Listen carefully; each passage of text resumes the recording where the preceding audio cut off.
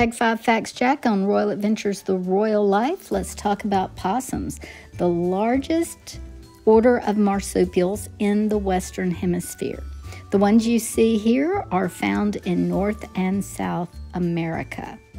They use their tail just like a hand, and they are the only mammal that has 50 teeth, the most of any other mammal in North America.